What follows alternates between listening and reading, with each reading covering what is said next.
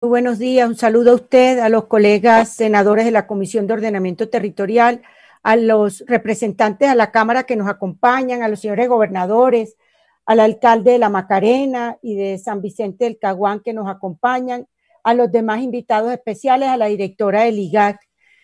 Eh, presidente, por designación de la mesa directiva, eh, soy ponente y coordinadora ponente eh, con el senador Eduardo Pacheco del el diferendo limítrofe entre los departamentos del Caquetá, del Meta y del Guaviare. Y desde el año pasado habíamos solicitado la audiencia pública, habíamos pensado hacerla presencialmente tanto en el Meta como en el Caquetá y en el Guaviare, pero lamentablemente se nos cruzó la pandemia con el inicio de las sesiones y el semestre pasado no logramos realizar esta audiencia y por eso en el día de hoy la audiencia pública lo que busca fundamentalmente es escuchar a las partes, a las partes que son fundamentalmente los tres departamentos en cabeza de sus gobernadores y el IGAC que tiene su informe técnico. Yo voy a hacer una presentación inicial para poner en contexto qué, cuál es el alcance del, del diferendo limítrofe y posteriormente pues lo hará el senador Eduardo Pacheco también como ponente y ya como usted bien lo dijo, presidente, las diferentes intervenciones. Entonces, eh, quiero eh, verificar si están... Sandra, está, ¿se está viendo bien, Sandra? Sí, señora, se está viendo. Sí, claro. Sí. Ah, bueno, perfecto. quería era como, como ver si me permitía ya pantalla concreta.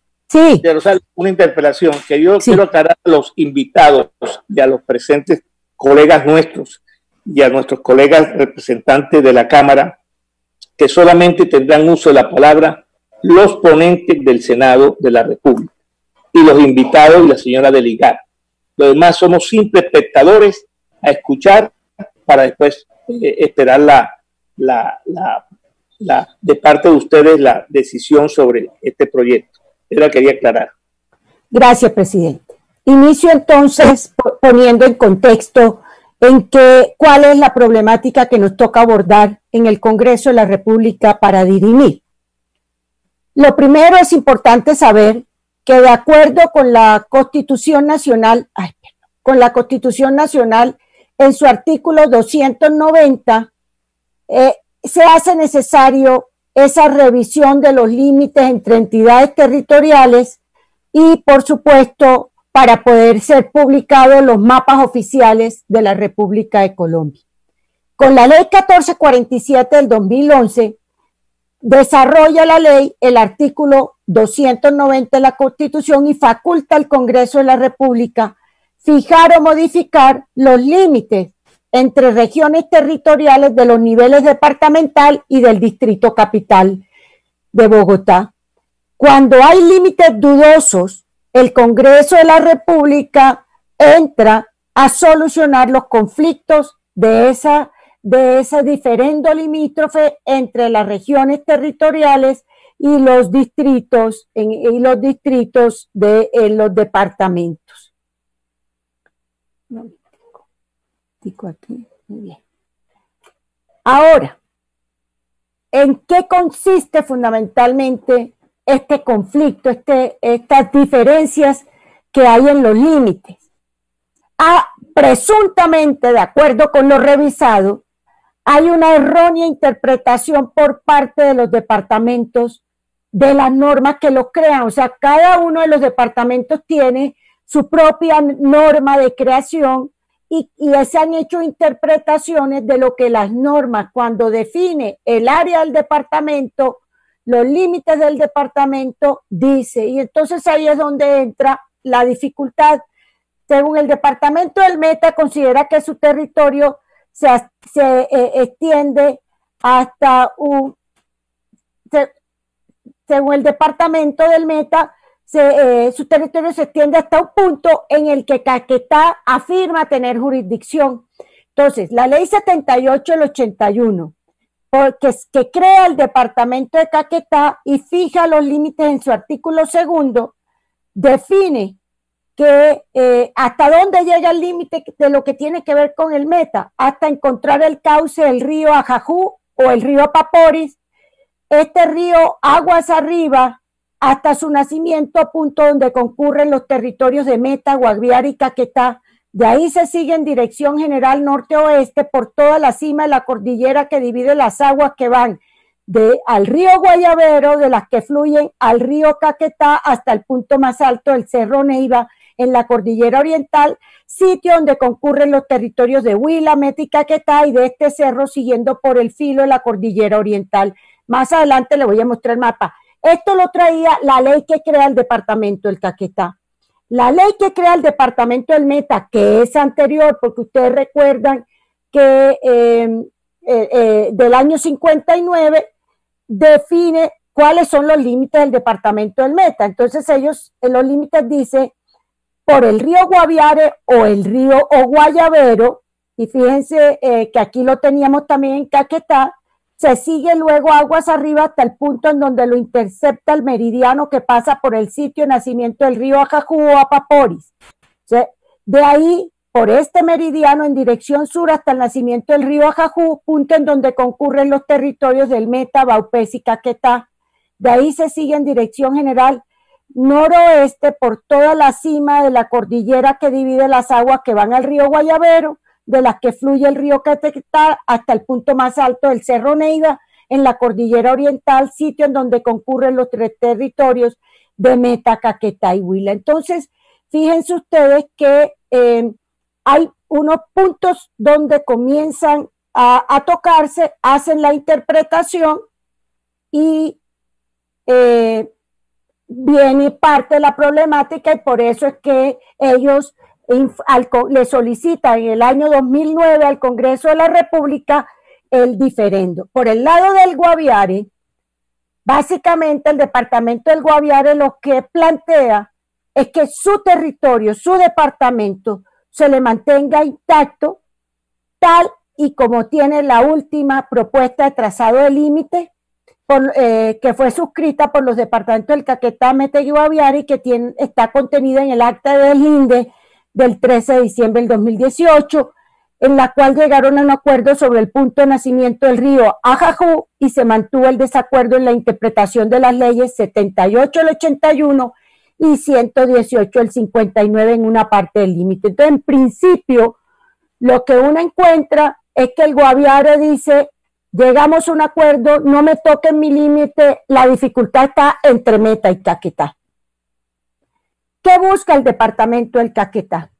El departamento del Caquetá pretende que los centros poblados, San Juan de Lozada, Puerto Lozada, La Unión, Las Américas, las Bocanas del Perdido y los pozos petroleros, las Delicias, la Machaca, la Sombra y el Recreo, eh, que esas zonas hagan parte de su, de su jurisdicción justifica en que estos centros poblados y pozos, petroleros, el Caquetá ha ejercido dominio administrativamente y ha hecho inversiones en infraestructura, salud y educación, entre otros. Y con base en ello, se modificarían los límites entre Meta y Caquetá, donde el departamento de Caquetá pasaría de tener 88.965 kilómetros cuadrados a 92.595 kilómetros cuadrados de superficie terrestre. O sea, el departamento del Caquetá tendría una ganancia superior a los, eh, los 3.000 kilómetros cuadrados. Esto fundamentalmente eh, toca dos municipios, La Macarena en el Meta y, eh, y San Vicente del Coaguán en el Caquetá, que son los municipios donde están estos poblados. ¿Qué pretensión tiene el departamento del Meta? El departamento del Meta, ay, perdón, el departamento del Meta eh, lo que busca es que de acuerdo con las cartografías de diferentes años entre el año 1976 y el año 2008, afirma que el trazado de, este, de estos límites se ha mantenido y son coincidentes con la propuesta limítrofe del departamento del Meta. y que dentro de esta definición de, propuesta limítrofe, las leyes 118 del 59 y 78 del 81 coinciden en que el límite entre los departamentos de Caquetá y Meta lo define la divisoria de los ríos Guayabero y Caquetá. Esto, según ellos, se corroboró con el modelo digital en terreno y la parte hidrográfica con el IDEAM.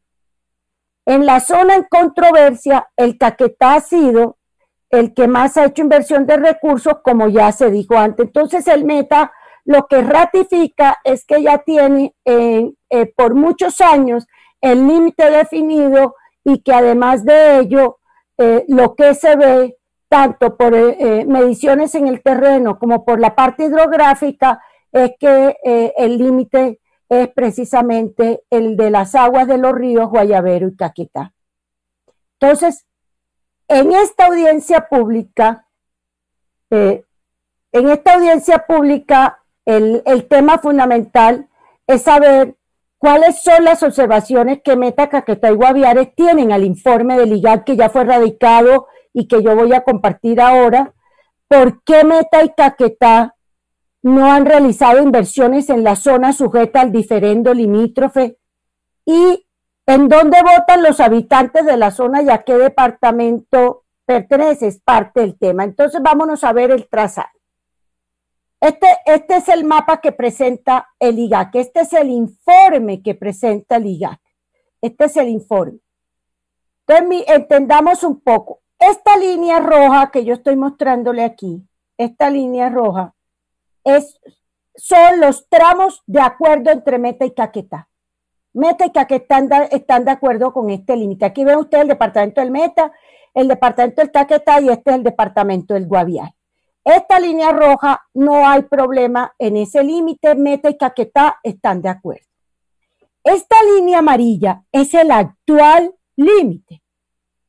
Es el actual límite y es el límite que Meta defiende que se mantenga esta línea amarilla. Esta línea verde es el límite que sugiere el caquetá, que le pertenece a él. Entonces, fíjense, fíjense ustedes, la, eh, la diferencia es entre la línea amarilla y la línea verde.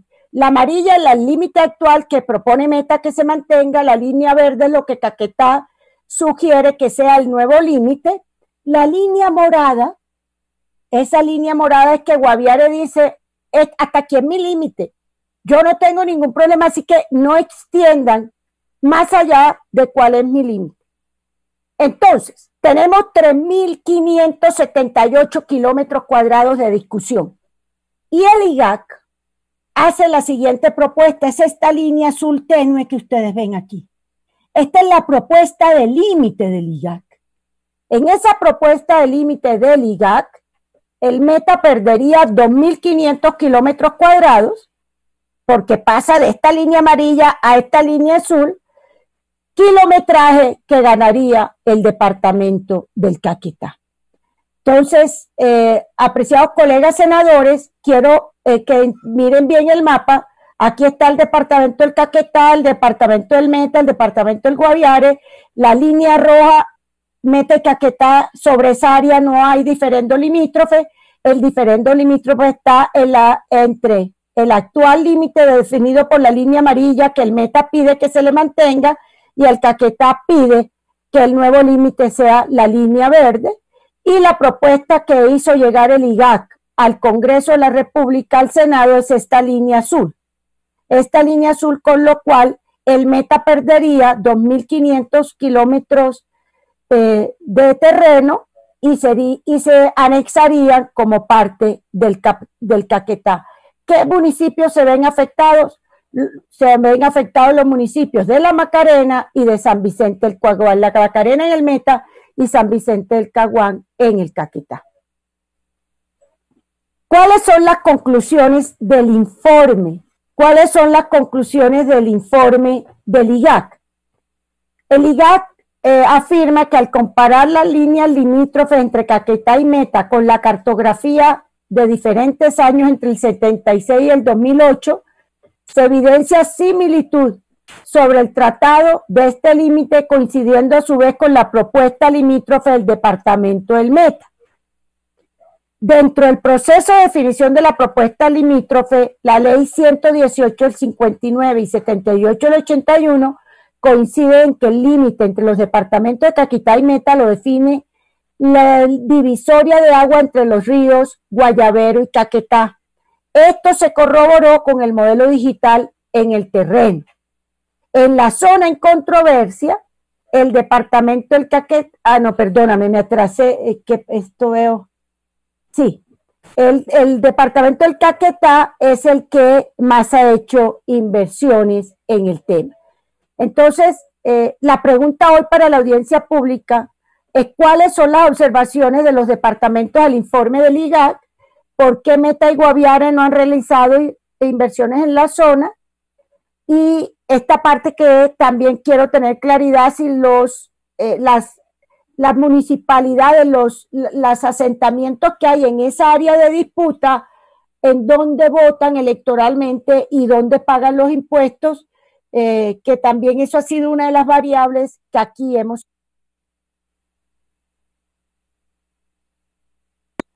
Continúe, doctora María Rosario. Termine, termine, doctora María Rosario.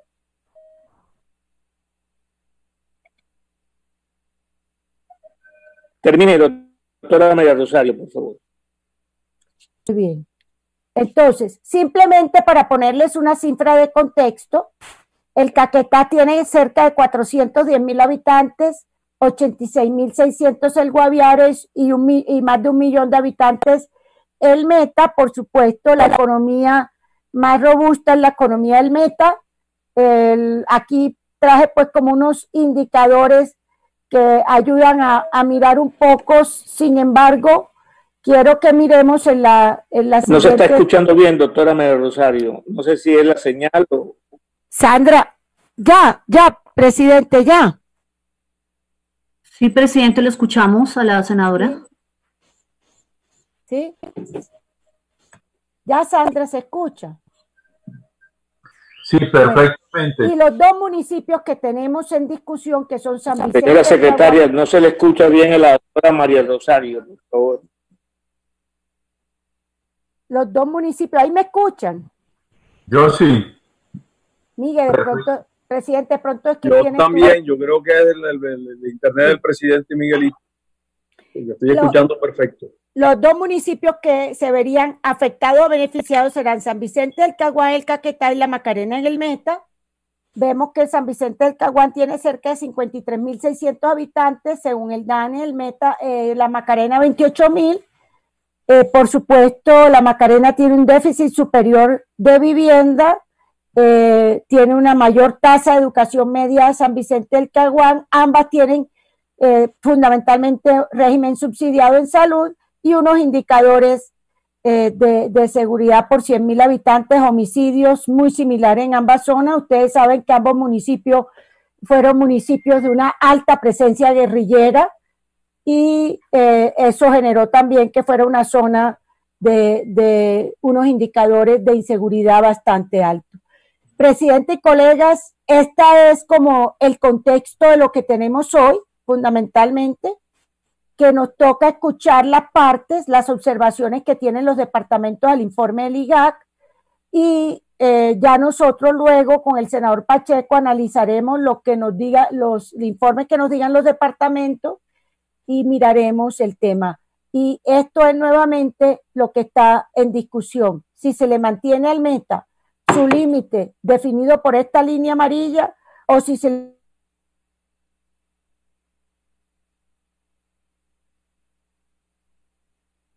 la propuesta del IGAC y es que el nuevo límite sea la línea azul. Gracias, presidente.